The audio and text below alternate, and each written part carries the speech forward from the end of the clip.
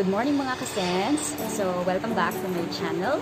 And uh, today is Wednesday and I promise to announce the winners. The winners talaga. Or yung mga bibigyan ko na mga students na bibigyan ko ng tig 50 pesos na load para makatulong sa kanilang online class.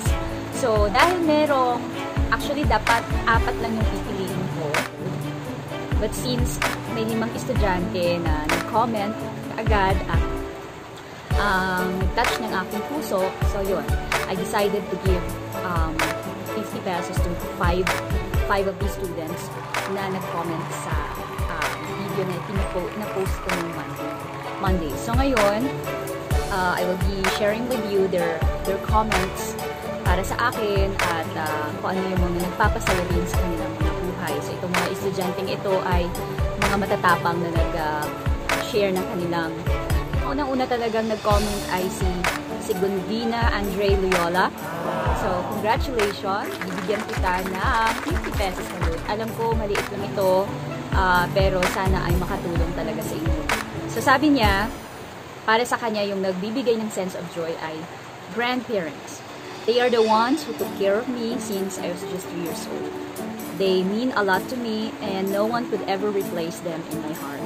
Seeing them smile together uh, kapag nakikita niya yung smile nila, no, and uh, yun, nai-inspire siya and na nagiging um, nararamdaman niya yung sense of joy. So, si Gambina Andre Loyola, maraming salamat sa pag-share mo. And then, the second one is si Terror 2.0. Congratulations! Sabi niya, what gives me sense of joy is my family and friends. They are the ones who always got my back. So they are they are there at the good times and the bad times sa, sa kanyang buhay. They cheer me up when I'm down and they are the inspiration uh, to fight for every day. I owe them a lot because I might not be writing this comment if it wasn't for them. So, Terror 2.0. So, yon nagpapasaya sa kanya. So, makakatanggap ka din ng 50 pesos na load from me. Maraming salamat sa iyong pag-comment. Okay. At saka nag-cheer pa siya sa akin na, uh, na sana makaabot pa ako ng dumagdag pa ng marami yung aking subscriber. Thank you so much. And then the next one, we have Christine de Guzman. Sabi niya, what gives me a sense of joy is uh, na nakapasok siya bilang isang scholar sa isang state university and second year student na siya ngayon. Congratulations!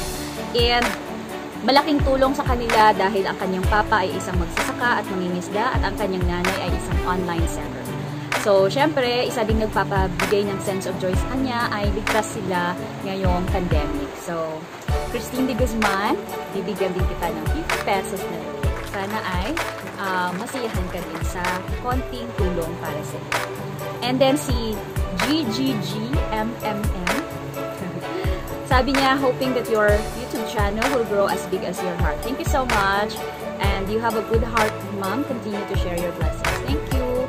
And uh, para sa kanya, uh, yung nagbibigay sa kanya ng sense of joy ay yung kanyang mom, yung mama. Dahil uh, wala siya sa kanyang buhay ngayon or uh, I know my life will not be as happy as it is now if her mom is, is not with her. Sweet-sweet naman itong girl na to.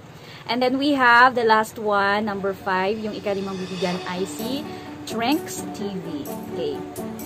Sabi niya, grade 7 na po ako sa pasukan, tas nakakapag-aral na po ako. Ayun pa lang ay masayang masaya na ako. Kahit mahirap ang buhay ngayong pandemic, ay nakakapag-aral pa rin. Sana po mapili pang online class. Of course. So, thank you so much sa pag-share ng inyong mga comment talagang ako din ay napasaya nyo at nabigyan nyo din ako ng sense of joy habang binabasa ko yung mga comments ninyo. So guys, all you have to do is send me a message in my email at kayo ay mag-email sa akin ng inyong mga cellphone numbers.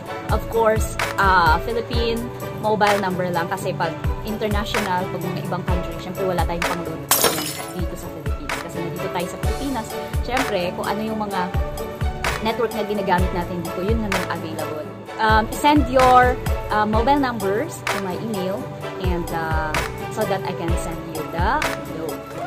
Salamat! Thank you so much sa lahat ng nag-like at nag-subscribe din. At sana ay gumamit pa tayo sa channel. Magbibigay ulit ako ng pangulo para makatulong sa ating mga estudyante na nag-aaral online. Yun lang po at maraming salamat. God bless everyone. Have a nice day.